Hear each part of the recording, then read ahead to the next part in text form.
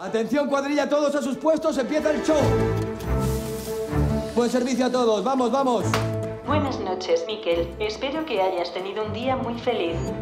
Miquel, tú tendrías que echarte una novia. ¿La novia para qué?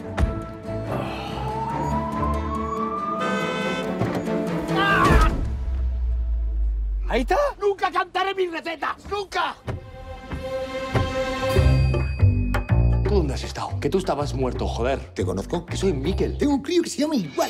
Pues que soy yo. ¿Qué es esto? Que sí. Que tú no eres, tienes siete años, eres idiota. Tú tienes ocho, nueve, más.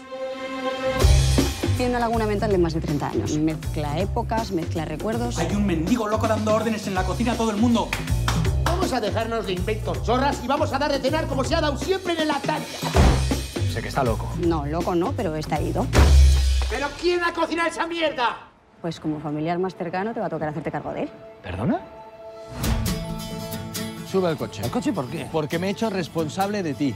¿Por qué? Porque soy un amigo. Amigo mío, tú ni pa' Dios. Tú lo que eres es un pijo. Vale, yo soy Miquel y ahora voy a llevarte a un sitio que fue muy importante para ti y muy importante para mí también. ¿Lo recuerdas? Tú lo que quieres es follar. ¿Qué? Y me subes a un coche, me llevas a un sitio. ¿Este o este? No sé, parezco madrileño, joder. Mira, Alan Lucas, Ferran Adrià, ¿a qué son los amos de la cocina mundial y él está con ellos? Tú estás loco, Miquel. ¿Por qué le traes aquí? Ese señor ha vuelto para enseñarnos el camino. Un tío que vive colgado en 1990. Exacto, porque es justamente allí donde hay que volver. Que se le ha ido la pinza del todo. No, que está volviendo poco a poco. ¿Pero qué has hecho? Yo soy el cabronazo que le destrozó la vida. Y se lo debo.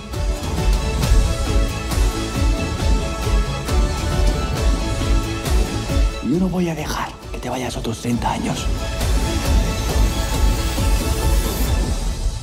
Yo quiero dejarte clara una cosa. No me dejo dar por el culo. Yo tampoco. Pues, a ver cómo hacemos.